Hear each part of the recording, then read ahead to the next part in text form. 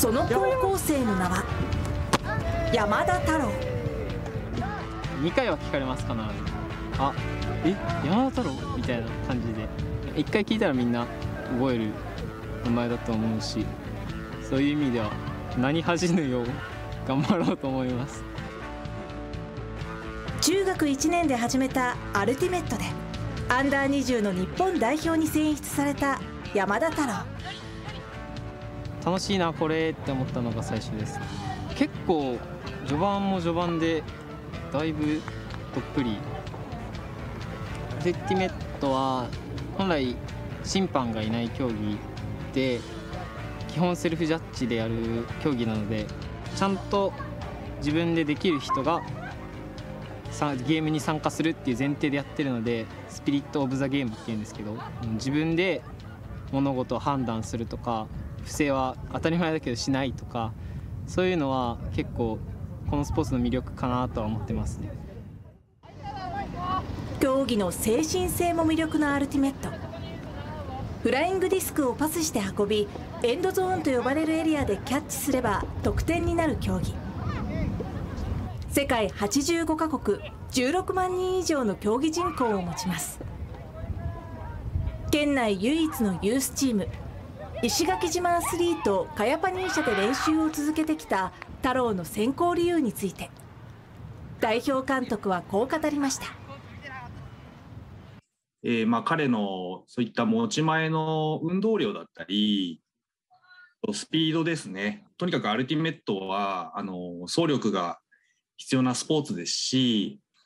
まあ、彼のそういった走力の部分をですね、えー、買いまして今回あの選考実はアルティメットと並行して八重山高校陸上部に所属する太郎。県高校総体では8種競技の優勝候補。総長等の8種目を2日間でこなすほかリレー2種目と三段跳びでも南九州大会出場を目指しています多種目にエントリーする理由は離島ならでは。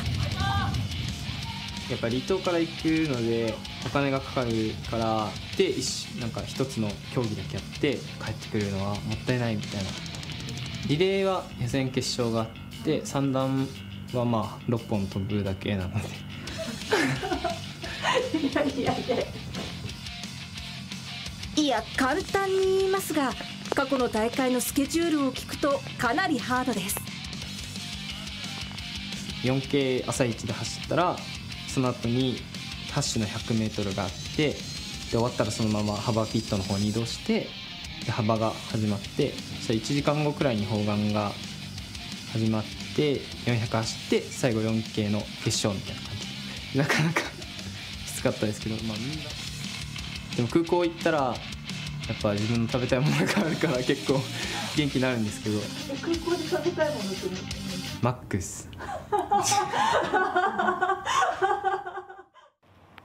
その体力と回復力に驚きの連続。8種競技プラス三段跳びにリレー2種目の計11種目の練習をこなしアルティメットを加えると12刀流の太郎さまざまな種目に挑戦する理由。それはすべてアルティメットのためです。やっぱり今はアルティメットにいずれ生きるだろうからこの陸上のトレーニングが